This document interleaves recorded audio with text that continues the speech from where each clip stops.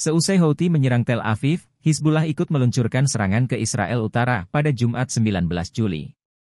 Tak tanggung-tanggung, Hizbullah menyerang wilayah Galilea dengan 65 rudal. Serangan itu mengakibatkan beberapa bagian pangkalan militer Israel.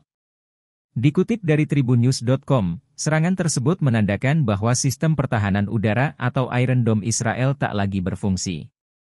Meski begitu, pasukan pertahanan Israel, IDF, mengklaim beberapa rudal Hizbullah berhasil ditembak jatuh. Namun beredar video di media sosial yang memperlihatkan beberapa pemukiman sipil terbakar. Terlihat api membakar halaman rumah warga hingga asap mengepul. Hizbullah mengatakan pejuangnya menembakkan serentetan rudal besar ke pangkalan IDF di Galilea Utara.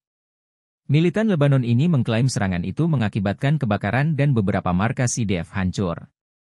Pihaknya juga mengklaim berhasil menyerang pemukiman baru Israel yakni Mitzpe Abirim dengan rudal Katyusha. Sementara kondisi di Tel Aviv lebih mengerikan akibat serangan Houthi di hari yang sama. Serangan itu mengakibatkan ibu kota Israel porak-poranda dan satu warga sipil tewas, sepuluh lainnya terluka.